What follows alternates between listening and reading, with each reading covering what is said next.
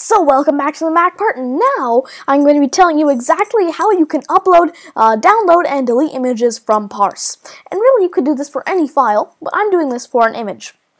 Now, uh, as you can see over here, if I just go over to my Chrome, and if I go into Imgur, uh, which is a uh, photo sharing site. As you can see, I have hosted a picture of me at Ripley's Aquarium, actually. I was there just, I think, last month, um, and there might may be a video about it soon.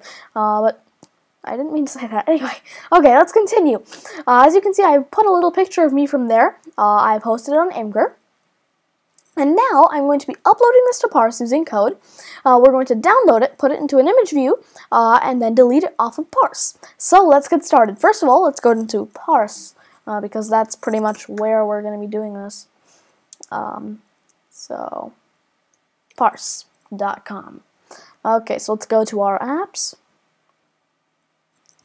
Uh, and let's just go to our core of our image upload. I just created a quick uh, database called image upload, uh, and under it, in its core, I've created a class called photo, uh, which has the image name as string and image file as file per uh, actually columns. And now we're going to be adding some rows to it with some files.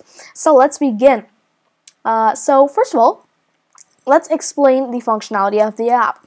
Basically, what happens? Let's just run this on the simulator what's going to happen uh, is it just shows a blank screen for a while, uh, and then once it's uploaded the image to parse, you can click on Load Image. Uh, it shows you the title of the image in a message box, uh, and then it shows you the actual image itself.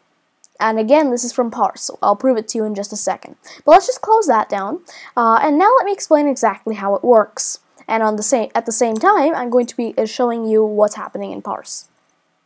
So what's happening is on viewDidLoad, we're calling a function called uploadImage. Now, essentially what uploadImage is doing uh, is, first of all, we're defining a constant called URL.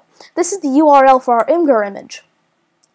Then we're defining a constant called data, which is equal to the NS data, which is equal to the contents of the URL, uh, which is taken from a string, which is our URL. Then we're forcing that to be unwrapped, uh, and then forcing the NS data to be unwrapped because we know in this case that it will be correct, uh, or there will be something in it. Uh, then we're declaring a constant uh, uh, called image file of type pf file, which is going to be equal to a new pf file, and we're running the name data initializer on it. So we're giving it the name tanmayripleys.jpg, and we're giving it the data, the data that we just extracted from the URL. Then we're just doing a force try image file.save. And so now what's happening is we're saving this image file locally. Now what we're doing is we're creating a PF object called userPhoto, uh, and basically its class name is called photo because if I show you over here, I created this class called photo. Okay, now we're setting user photo's image name to me at Ripley's Aquarium of Canada. Then we're setting the image file to the image file that we just created, the PF file constant. And then we're doing a force try userPhoto.save. And so now what we're doing is we're saving the user photo, the entire thing, online properly. Okay, so now let's run the app. And as you can see, you now know what's happening in the background. We have now successfully uploaded the image uh, now because this button has appeared. Okay, so now what I'm going to do uh, is I'm going to go to parse, and if I refresh, as you can see, we can see image name, me at Ripley's Aquarium of Canada, uh, and the image file is Tanmay Ripley's, uh, and then I can download that, of course, uh, and look at it. Okay, perfect. Uh, and now what's going to happen is, let's just take a look at the IB action for the button clicked. Now this IB action, IB action calls download image and delete image. And essentially what happens download image will download the image as it says and put it into the image view. Uh, and delete image will uh, actually just delete the image off of parse. Uh, and so, uh, I can just get, show you a sample of that. It does this. Uh, yeah, Ripley's Aquarium of Canada. Perfect. Okay, so now continuing. What's going to happen is in download image, we are creating a new PF query uh, for the class name photo. Then we're creating an object, which is the first object we get from that query.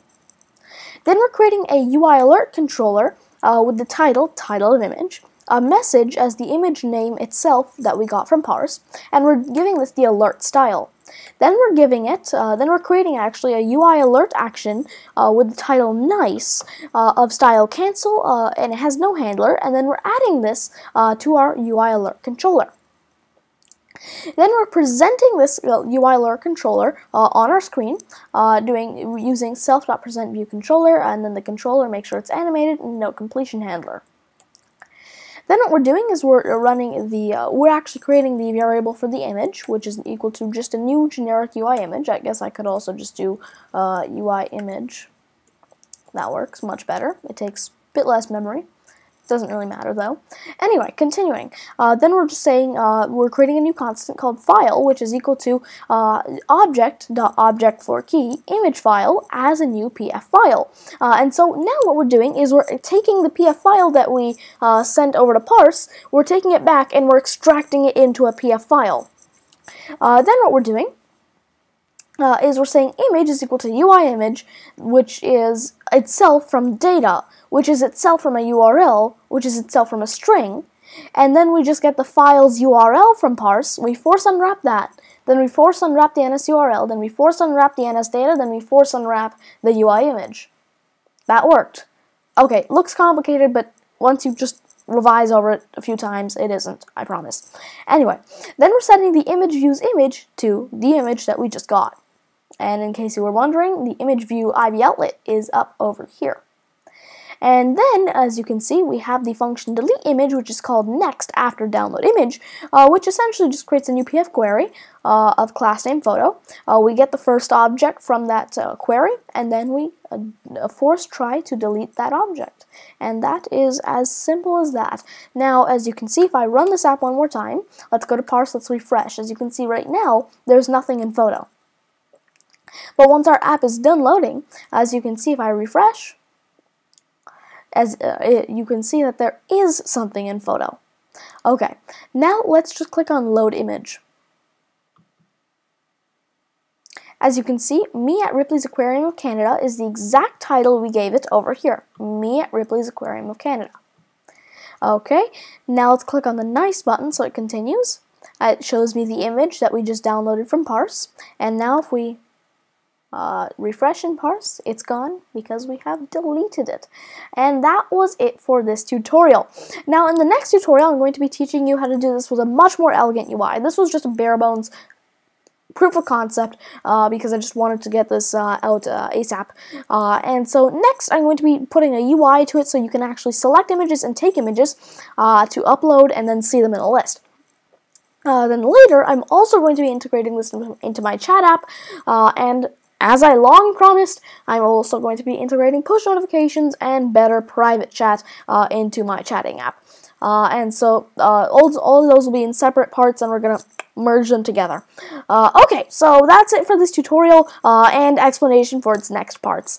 Uh, okay, so if you enjoyed, please make sure to leave a like. Uh, you can also comment down below if you have any questions, suggestions, app ideas, really anything. You can also email me if you have any of those, uh, and you can also email me uh, if you have a video question that you'd like me to feature in one of my next videos.